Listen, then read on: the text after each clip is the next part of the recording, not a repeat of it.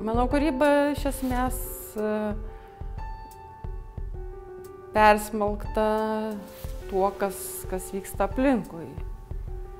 Jeigu ten vyksta karas, tai yra to karų kažkokių elementų.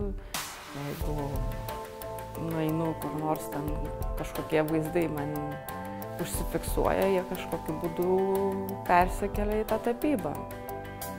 Viskas prasidėjo nuo praeito rudens, sakyčiau, kai reikėjo rašyti paraišką kultūros tarybai. Tai pati koncepcija tada ir gimė.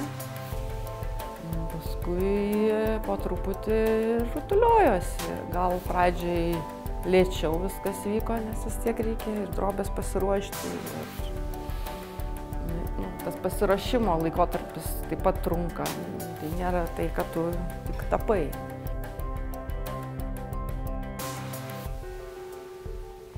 Tiesiog ateini kas kartą ir pradedi tą pasakojimą, o paskui tas pasakojimas į kažką kitą auga.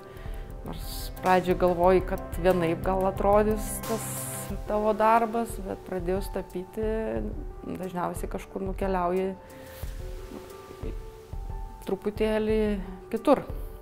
Tiesiog niekada kažkaip nebūna taip, kad tai, kas sumanėjai, kad šimtų procentų tai ir gausis, nes gaunasi, pradedi vieną kampą tapyti, žiūri jau kitas kažkoks gal silpnesnis, tada pradedi tą tvarkyti, žiūri jau, jau kitą pusę kažko prašosi.